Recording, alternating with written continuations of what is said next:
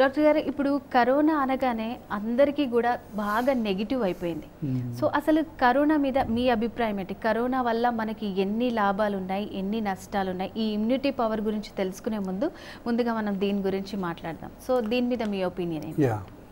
అంటే ఇప్పుడు అంటే మానవాళి పుట్టిన తర్వాత ఇది మొదటి వైరస్ కాదు చివరి వైరస్ కాదు. ఇంతకంటే భయంకరమైనటువంటి వైరస్లు వచ్చాయి. దాదాపు ప్రపంచంలో వన్ థర్డ్ ఆఫ్ పాపులేషన్ని కూడా ఎఫెక్ట్ చేశాయి. మరణించిన సంఘటనలు కూడా ఉన్నాయి. సో ప్లేగు వ్యాధి అని కలరా అని తర్వాత H one N one influenza ఒకటి ఎన్నో రకాలైనటువంటి ఈ వైరస్లు సో మానవాళి మీద దాడి చేస్తూనే ఉన్నాయి. సో దాన్ని మనిషి తట్టుకుంటూనే ఉన్నాడు. దాని మీద పోరాటం చేస్తూనే ఉన్నారు బయటపడుతూనే ఉన్నారు. ఇది ఇప్పుడు ఒక కొత్త సవాలు. అంటే ఇంత పెద్ద సవాలు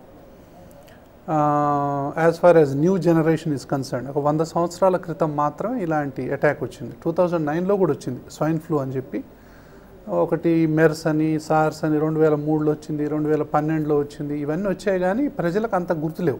బట్ కరోనా చూపించినంత ఇంపాక్ట్ బహుశా ఈ వంద సంవత్సరాల్లో ఇంకా ఏ వైరస్ కూడా చూపించాల. పంతొమ్మిది వందల పద్దెనిమిదిలో ఒకటి స్పానిష్ ఫ్లూ అని చెప్పి ఒకటి. అది ఆ దాని ఇంపాక్ట్ అంటే ఐదు నుంచి పది కోట్ల మంది చచ్చిపోయారంటారు వాళ్ళు. రకరకాల figures in between five and ten. So చాలామంది చనిపోవడం జరిగింది. ఇప్పుడు మరణాల పరంగా చూసుకుంటే దాని ముందు ఇది నథింగ్ యాక్చువల్గా కానీ దీని యొక్క వేగం అంటే మనిషి నుంచి మనిషికి అంటుకునేటటువంటి వేగం మాత్రం చాలా ఎక్కువగా ఉంది. అంటే more contagious but less lethal అలా అని చెప్పి టోటల్ నెగ్లిజెన్స్ కాదు కానీ మోర్ కంటేజియస్ ఇన్వర్స్లీ అంటే ఇన్వర్స్లీ ప్రపోర్షనల్ బాగా వేగంగా పెరుగుతుంది అంటుకుంటుంది. అంటే దేశం దేశం మనిషి మనిషికి బజార్ బజారు అట్లా పాక్కుంటా పోతుంది. బట్ మరణించేటటువంటి లీథల్ ఏదైతే ఉందో ఎక్కువ ఏం లేదు. వన్ టు టూ పర్సెంట్ అనేదే ఉంది యాక్చువల్గా బట్ ఏజ్డ్ పీపుల్లో మాత్రం సిక్స్ టు సెవెన్ పర్సెంట్ కూడా ఉంది. Age more than seventy five years ఉన్న లేదా ఆల్రెడీ ఏదో జబ్బులతోని బాధపడుతున్న కిడ్నీ జబ్బులు కానీ క్యాన్సర్ జబ్బులు కానీ గుండె జబ్బులు కానీ ఇలా బాధపడే వాళ్ళ మాత్రం సెవెన్ టు ఎయిట్ పర్సెంట్ వరకు కూడా డెత్స్ ఉన్నాయి. సో టెన్ పర్సెంట్ కూడా ఉన్నాయి డెత్స్ కొన్ని ఏరియాస్లో. ఇప్పుడు ఇటలీ లాంటి ఏరియాలో ఒకేసారి వచ్చి సపోజ్ ఒక హాస్పిటల్ ఉందనుకుందాం. రోజుకు పది అడ్మిషన్లు ఇరవై అడ్మిషన్లు ఒక హాస్పిటల్ కెపాసిటీని బట్టి ఉంటుంది. అదే హాస్పిటల్కి ఒక రోజే రెండు వందల మంది వస్తే అడ్మిషన్కి హాస్పిటల్స్ ఏం చేయలేవు కదా? సో దానివల్ల అందరికీ మెడికల్ కేర్ ఇవ్వటం అనేది కష్టమైపోద్ది. అలాంటప్పుడు ఎవరికి ఇవ్వాలా? ఎంత సివియారిటీ ఉన్న వాళ్ళకి ఇవ్వాలా? యంగ్ ఏజ్ వాళ్ళకి ఇవ్వాలా? సో అప్పుడు చూసారా మోర్ దెన్ ఎయిటీ ఇయర్స్ ఇటలీలో చేయలేకపోయారు. కాబట్టి అట్లాంటి సందర్భాల్లో మోర్టాలిటీ రేట్స్ అనేవి డిఫర్ అవుతాయి. కంట్రీ కంట్రీకి ప్లేస్ ప్లేస్కు డిఫర్ అవుతూ ఉండేవి. సో ఈ విధంగా ఈ కరోనా ప్రపంచం మీద ఒక ప్రకృతి విసిరినటువంటి సవాల్ ఇది. ఓకే? ప్రకృతి తనను తాను రీఫ్రెష్ చేసుకోవటానికి తనను తాను హీలింగ్ చేసుకోవటానికి అంటే జీవరాశులు మొత్తం కూడా తనని తాను హీలింగ్ చేసుకోవటానికి తర్వాత పంచభూతాలు ఏవైతే ఉన్నాయో సో గాలి నీరు భూమి ఆకాశం అన్నీ కూడా క్లీనింగ్ ప్రాసెస్లో. చూస్తున్నారు కదా పశుపక్షాదులు ఏ విధంగా ఒక విధంగా చాలా ఆనందంగా తిరుగుతున్నాయి కదా? అంటే ఈ భూమి మీద బతికే హక్కు మనకెంత ఉందో ప్రతి జీవికి కూడా అంతే ఉంది అనేటటువంటి సందేశాన్ని ఈ కరోనా ఇచ్చింది. చాలామందికి ఆ యొక్క స్పృహ కానీ ఆ ఆలోచన కానీ చాలామందికి ఇప్పుడు కలుగుతుంది. సో ఇది మనమే కాదు ఇది మనం ఒక్కళ్ళదే అనుకుంటున్నాం మన ఓన్ లేదు ఇతర జీవరాశులు కూడా ఇక్కడ బతికే హక్కు ఉంది ఉండాలి కూడా అని చెప్పి ఆ ఆలోచనలు వస్తున్నాయి. తర్వాత మనం ఏ విధంగా ఇప్పటిదాకా ఈ జబ్బుల బారిన పడతా ఉన్నాం? అసలు ఇన్ని జబ్బులు మనకి ఎందుకు వస్తున్నాయి? ఇంతమంది మనం హాస్పిటల్ చుట్టూ ఎందుకు తిరుగుతున్నాం అసలు? ఇంత టెన్షన్లు ఎందుకు భరిస్తున్నాం మనం? అనే దాని మీద కూడా ఈ నలభై రోజుల్లో మనుషులకి సింహావలోకనం అంటాం కదా?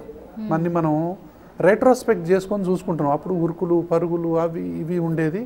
మరి ఇప్పుడు ఏమీ లేవు. ఇప్పుడు బేసిక్గా అంత స్తంభించిపోయింది. స్తంభించిపోయింది. బేసిక్గా కావాల్సింది ఏంటి?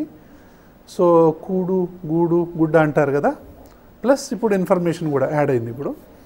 సో ఇవి basic necessities of human life అనేది అందరికీ కూడా తెలిసిపోయింది. ఇప్పుడు పెద్ద పెద్ద భవంతులున్నా పెద్ద పెద్ద ధనవంతులైనా లేకపోతే ఎవరైనా సరే దీని ముందు అందరూ సమానమే అధికారం ఉన్న. ఇప్పుడు బ్రిటన్ ప్రైమ్ మినిస్టర్ కూడా వచ్చింది కదా. సో అది ఎవరిని చూడదు అందరినీ సమానంగా చూస్తుంది. కాబట్టి ప్రతి వాళ్ళు కూడా దీన్ని ఒక లెర్నింగ్ లెసన్గా తీసుకొని ఇక ముందు ఎలా ఉండాలి అనే దాని గురించి మాత్రం చాలా చాలా విషయాలు చెప్పింది. ముఖ్యంగా ఆహారం గురించి. ఇప్పుడు హాస్పిటల్కి వచ్చే వాళ్ళ సంఖ్య ప్రతి ప్రపంచవ్యాప్తంగా తగ్గిపోయింది. ఇక్కడే కాదు ప్రపంచవ్యాప్తంగా కూడా ఈ కరోనా లాక్డౌన్ పీరియడ్ ఏదైతే ఉందో this is the best period to research on different areas అంటే అవుట్ సైడ్ ఫుడ్ తినటం వల్ల ఎంతమందికి జబ్బులు వస్తున్నాయి ఎంతమంది హాస్పిటల్ పాలవుతున్నారు ఆల్కహాల్ తీసుకోవటం వల్ల ఈ స్మోకింగ్ వల్ల లేకపోతే బయట అంటే సోషల్ ఈ క్లోజ్లీనెస్ వల్ల ఇరవై నాలుగు గంటలు అపరాత్రి అది లేకుండా తిరగటం వల్ల ఒకళ్ళకొకళ్ళకి హ్యూమన్ టచ్ వల్ల ఎన్ని జబ్బులు వస్తున్నాయో మనకు అర్థమవుతుంది. ఇప్పుడు ఫిజికల్ డిస్టెన్స్ సోషల్ డిస్టెన్స్ వల్ల వైరస్ అనేటటువంటిది బ్రేక్ డౌన్ అయిపోయింది. నాట్ ఓన్లీ కరోనా వైరస్ ఇంకా మనకు త- చాలా వైరస్లు ఉన్నాయి. వంద రెండు వందల వైరస్లు ఉన్నాయి. మనిషికి జబ్బులు కలిగించే వైరస్లు ఈ వైరస్లు అన్నీ కూడా ఇప్పుడు మనుషుల్లో తగ్గిపోయాయి. దానివల్ల వైరల్ ఫీవర్స్ అనేవి పూర్తిగా తగ్గిపోయాయి.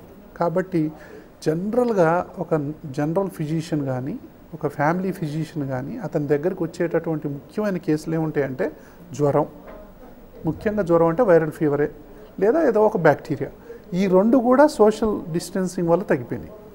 ఇంకొకటి ఏంటి? ఫుడ్ పాయిజనింగ్ విరోచనాలు కానీ వాంతులు కానీ ఇవి కూడా తగ్గిపోయినాయి. ఎందుకంటే మిగతా తినటం బయట తినటం అలాంటివి ఏం లేవు కాబట్టి.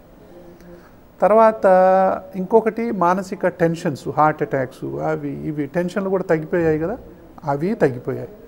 Pollution related is the major cause. ఇప్పుడు అలర్జీ కానీ ఆస్తమా కానీ సైనస్ కానీ హెడేక్స్ కానీ మైగ్రేన్లు కానీ సో ఈ దగ్గు ఈ తెమడలు ఇవన్నీ మాయమైపోయినాయి ఒక విధంగా. అంటే చాలా మందిలో కొంతమందిలో ఉంటాయి చాలా మందిలో మాయమైపోయినాయి. సో కరోనా వల్ల ఉపయోగాలు ఉన్నాయి ఒక విధంగా పేదవాళ్ళకు చాలా అంటే రెక్కాడితే డొక్కాడని వాళ్ళకు మాత్రం నరకం చూపించింది అనే దాంట్లో ఎలాంటిది లేదు. బహుశా ఇండిపెండెన్స్ అప్పుడు పార్టిషన్ తర్వాత జరిగినటువంటి హ్యూమన్ మైగ్రేషన్ తర్వాత this is the second second biggest human migration. Second biggest human migration. ఇప్పుడు ఒక ప్లేస్ నుంచి ఒక ప్లేస్కు జనాలు వెళ్ళటం అనేది అదొకటి. తర్వాత వాళ్ళందరికీ న్యూట్రిషనల్ ప్రాబ్లమ్స్ అవి రావటం. వాళ్ళు ఎన్నో కష్టాలు పడటం ఆర్థికపరమైనటువంటి ఇబ్బందులు ప్రతి కుటుంబం ఎదుర్కొంటూనే ఉంది. చిన్న పెద్ద లేదు. పైనుంచి కింది దాకా అందరికీ ఆర్థిక ఇబ్బందులు కలిగిన మాట వాస్తవం. దాని తర్వాత కొన్ని కొన్ని రకాలైనటువంటి సోషల్ డిస్టర్బెన్సెస్ కానివ్వండి ఫుడ్ రిలేటెడ్ డిస్టర్బెన్సెస్ కానివ్వండి. సో చాలా ఎన్నైతే లాభాలు ఉన్నాయో అన్ని కష్టాలు కూడా పడ్డారు. బట్ వీటన్నిటినీ మనం చూసుకొని మళ్ళీ ఏ విధంగా ముందుకు వెళ్ళాలి అనేది మన ఇమ్యూనిటీ ఎలా కాపాడుకోవాలి? మనం ఏ విధంగా జాగ్రత్తగా ఉండాలి? ఇప్పటి నుంచి ఎలాంటి జాగ్రత్తలు తీసుకోవాలో చాలా ముఖ్యం.